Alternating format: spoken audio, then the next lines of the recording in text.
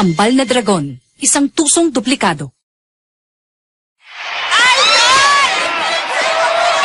Tapusin na natin to habang maaga. Okay, ayan na siya!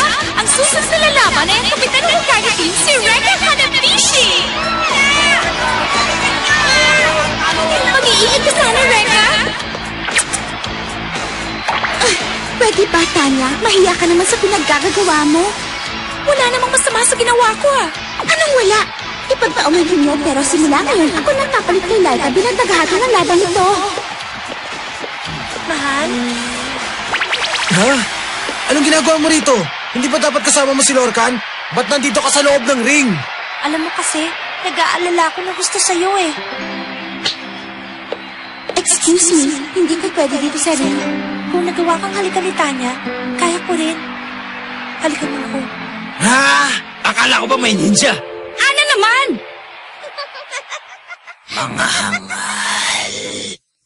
Ano? Si Ana! Sumabog!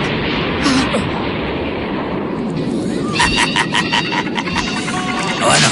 Naloko ko kayo, no? Ako si Kasamaru, ang unang ninja ng Uruha. Ang nakita niyong babae kanina ilusyon lamang. Ginamit ko ang ninpo technique. Anong sinabi mo? Ay, nako. Akala ko pa naman magaling kayo. Ang dali-dali niyo naman pala lokohin. Ah! Sino? Bakit ikaw nandyan? Sandali. Sino sa atin ngayon ang madaling maloko? Nimpo substitution. Masakit man aminin pero kahit kailan ay hindi ako tinawag na mahal ng aking prinsesa kaya kita nabuko. Wala nang mas gagaling pa sa akin na ninja. Ni hindi man lang kamukha ng prinsesa ko ang ginawa mong prinsesa. Unang-una masyadong pwet ang ginawa mong prinsesa. Magagalit si Ana kapag narinig niya yan. Oo nga. Max! Naku, nagsisimula na po ang laban. Max, taman! Wala ka ng pagkakataon ngayon para tumakas! Ang daldal mo naman! Ako ang pinakamagaling na ninja!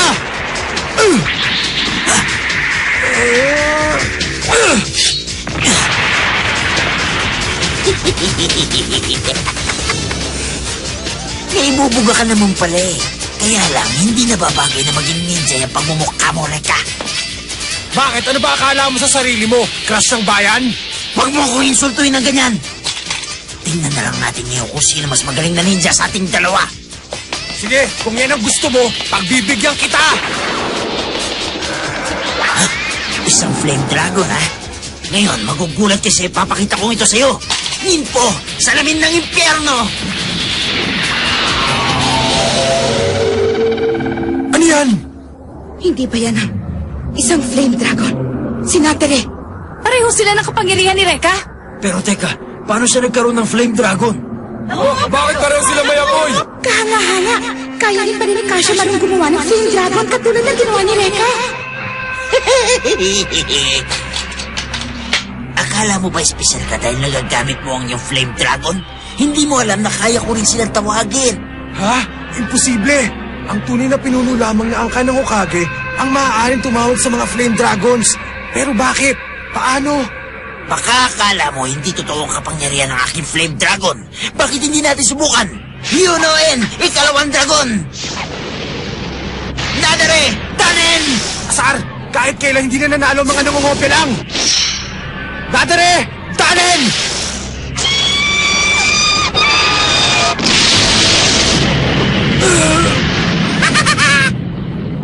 Ibig sabihin, tabla lang sila. Hindi pwede yon. Hindi ako makapaniwala na pareho lang sila ng kapangyarihan. Pero baka naman totoo ang kanyang flame dragon.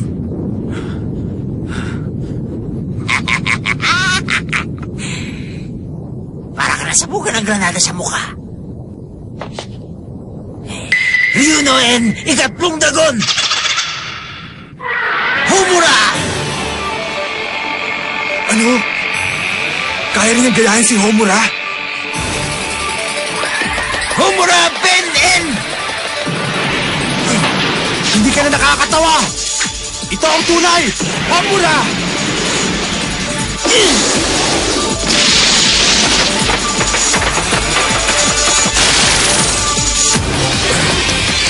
talaga.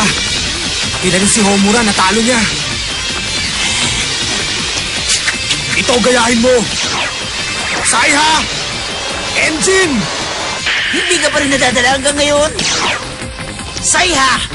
Engine! Tumigil ka na! Hindi mo kaya talunin ng mga tunay na Flame Dragon! Ako ang dapat magsabi dahil ako ang pinakamagaling na ninja sa ngayon.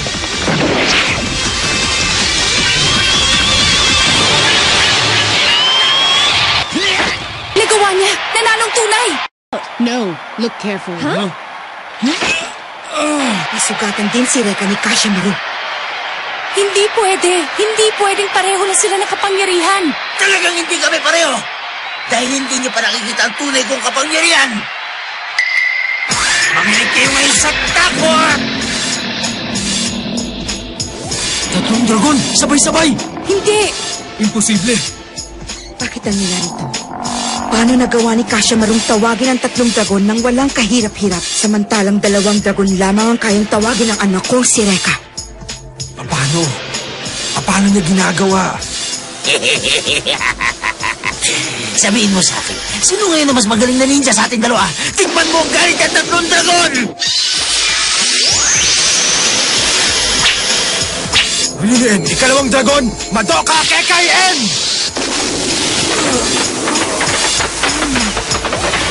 Huli ka!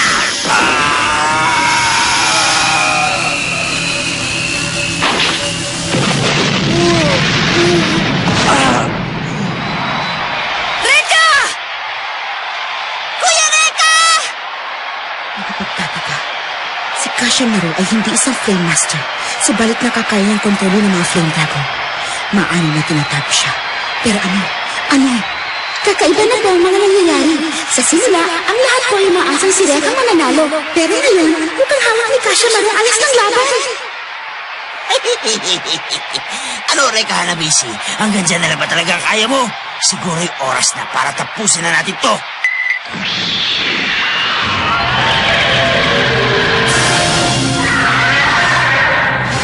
Si Setsuna! Si Madoka! Hindi! Ano ba yan? Maski pala limang Flame Dragons, kaya niyang tawagin. Imposible! Ano na ang gagawin ni Reka? Wala na, dahil ihahanda ko na ang kanyang libingan. Yan ang nararapat na kapalaran para sa mga nangahas na lumaban sa aming mga uruha, Reka Hanabishi. Tapusin niyo na si Reka! Huwag ka nang masama dyan! Reka! Ibapo ka na! Saiha, engine! Ano yun? Yan ang mahiwagang ni Sebi. Ni Sebi? Isang uri ng sandata na kumokontrol sa apoy. Ginagaya nito ang kakayahan ng isang tunay na Flame Master. Ang ibang ninja na naghahangad sa kapangyarihan ng apoy ay maaaring magtaglay nito kung nasa kanilang mahiwagang ni Sebi. At kahit anong uri ng apoy, makakaya nitong gayahin at kontrolin. Nako, ang tagal niyo naman bago napansin. Hindi totoo ang mga dragon. Kanina pa pala tayo pinepeke ng taong to eh. Yun ang dahilan kaya niya nagagawang lumikha ng sariling Flame Dragons. Sa pagkakaalam ko, ang ay may hangganan sa paglikha ng iba-ibang uri ng apoy. Pero hindi ko inakalang magagaya niyang kapangyarihan ng limang dragon.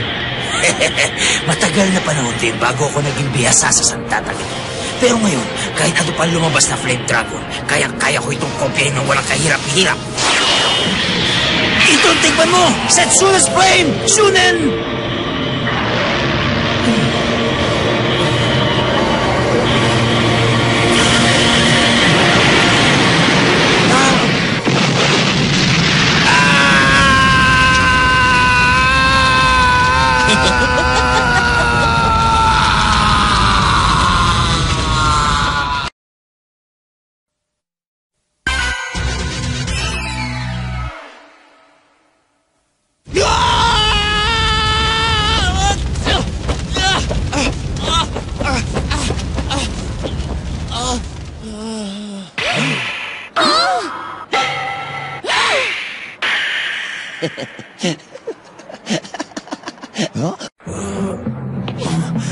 Magbabayad ka sa akin ngayon. Imposible to. Nakaya pa rin niya tumayo pagkatapos ko sasunugin. Wala na siyang itatagal pa. Wala nang pag-asa pang manalo si Rika. Wala akong pakialam. Hindi ako basta-basta patatalo sa isang pipitsuging katulad mo lang. Kung gano'n, itutuloy ko lang ang gagawin ko hanggang malagotan ka ng hininga. Tanggapin mo ito, Reka!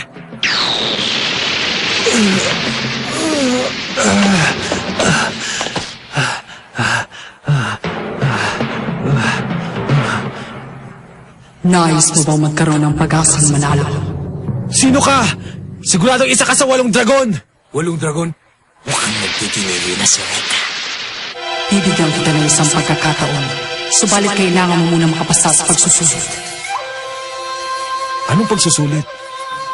Noong unang panahon, may isang manunulat na lumikha ng kanyang pinakamagandang nobela.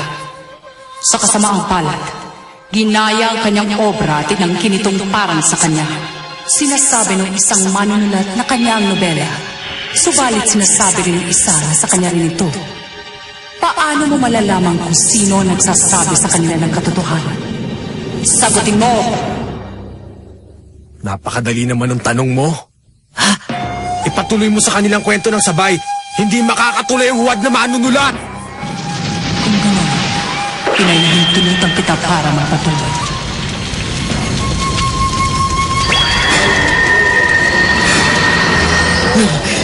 Ano yan? Isang bagong Flame Dragon! Kung nagaya mo ang mga flame dragon na nakita mo, hindi hindi mo ako magagaya dahil ngayon mo pala ako nakita. Ako si Rui, ang Katanashi. Ako ang dragon na nagpapaunlak ng aking kapangyarihan sa sino mang nakakasagot ng tama sa aking mga tanong! Niloko na. Hi- hindi ko akalain na sa bandang huli lalabas ang ika-anim na Flame Dragon. Kasamaru, hindi ka naaaring sumuko ngayon. Alalahanin mo na isa kang respetadong kasabi ng Uruawa. Mabigat ang iyong magiging kaparusahan kapag ginumisan mo ang aking pangalan. Haharapin mo ang galit ng aking kapatid kapag sumuko ka ngayon. Akala mo ba hindi ko alam yan? Huwag ka magalala. Kayang-kaya kong gayahin. Ang bagong Flame Dragon! Okay, susubukan natin yan. Ano ba yan? Maulap! Ano na bang nangyayari? Anong kapangyarihan ang taglay ng dragon ito? Naloko na. Saan ka na naman nagpunta? Tinatago mo ba sa ulap na itong kapangyarihan ng iyong bagong dragon para hindi ko magaya? Pwes, tatanggalin ni Natari ang ulap na ito para sa akin. At pagkatapos, nanakawin ko kakayahan ng iyong dragon. Siguradong lalakas pa akong lalo dahil sa bago kong taglay na kapangyarihan.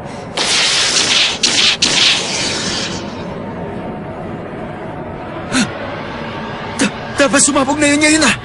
Bakit? Hmm. Reka! Lumabas ka na dyan! Ha? Huli ka! Bakit may natake sa sarili mong kakampi? Patawad, Master Gasakura. Nakita mo na. Dapat kami ang pangkat na umusad sa bahaging ito ng paligsahan.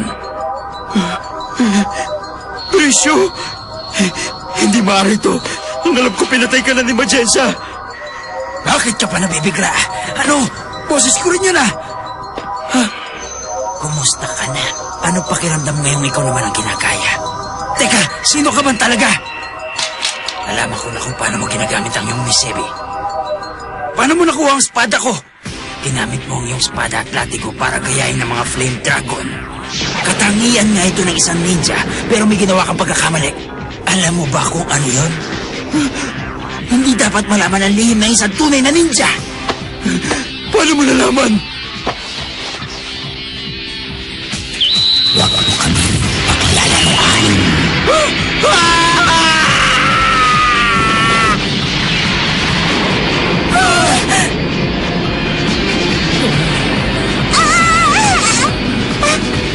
Reka! Ngayon, nauunawaan ko na ang kapangyarihan ng Flame Dragon na si Rui. Ang lahat na nagganap ay ilusyon lamang. Isa itong apoy ng ilusyon. Sina Master Kasakura, Luisyo, at ang isa pang katulad ko ay mga ilusyon nilikha ni Rui. Tama, sinabi sa akin ni Rui kung paano. Ang kailangan ko lang gawin ay isipin ang isang bagay At si Ruin na ang bahalang magbago sa anyong naisip ko. Okay ba? Yan ang aking Ryunoen, ikaalim na Dragon Rui. Hindi ako makapaniwala. Na, natalo ko.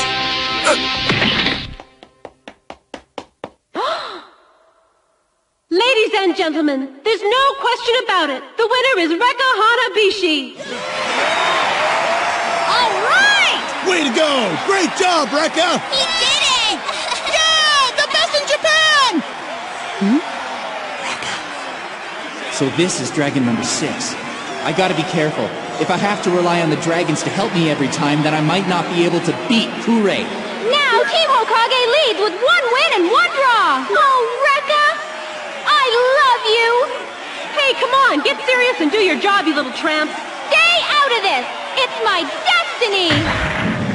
What the? Here comes Gashakura, Uruhama's second in command. This guy's pretty big, and he looks even bigger in the ring. What the hell do you think he is, anyway? Gashokura, before you do battle, I need a moment of your time. Hmm? Yes, brother? We must punish those who have soiled the Uruha name and disgraced us.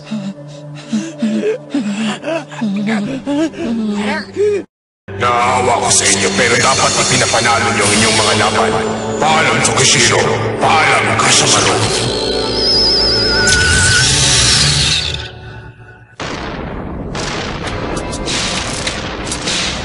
Ha? Anong ginawa ni Magensa? Kakaibang uri ng paglalakbay sa panahon.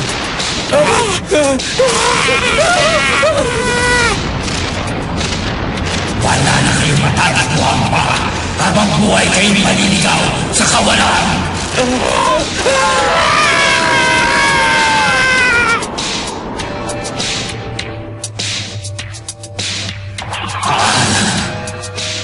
Ha? Anong ginawa mo sa mga kasama mo? Nasaan na sila? Saan mo sila ipinatapon? Reka, wala ko intensyon na ipaalam sa iyo ang abot ng aking kapangyarihan. Bueno, tapos na ang palabas. Simulan na natin ang laban. Hmm? Bakit andito ka pa rin? Akala ko ba si Ira na ang aking makakalaban? Nakalimutan mo na ba? Matira ang matibay. Ako ang nanalo kaya ako pa rin ang lalaban. Pero sa kalagayan mo ngayon, kaya mo pa rin bang lumaban? Ha? Ano ibig mong sabihin? Binabalutan ni Kashamaru ng pampatulog ang kanyang espada. Nararamdaman mo na ba ang epekto nito sa iyong katawan? Asar, Pero dahil kagustuhan mong manatili sa loob ng ring, tuturugin na kita.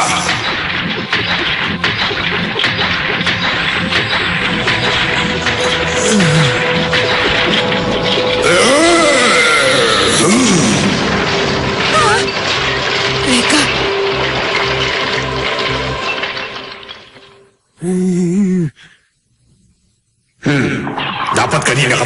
ka dito. Kinamit mo mga ito sa unang bahagi ng laban, hindi ba? Huwag kang magalala. Ako nang bahala sa halimaw na ito. Kaya matulog ka muna. Yung nakasagupa ako nung una, eh, pipitsugin lang. Tapos hindi pa ako nakalaban ng ikalawa. Sabihin na natin medyo kating-kating na ang kamay ko para makipag-away. Max! Buhati mo si Reka! Oo. Handa na ako! para lumaban sa'yo!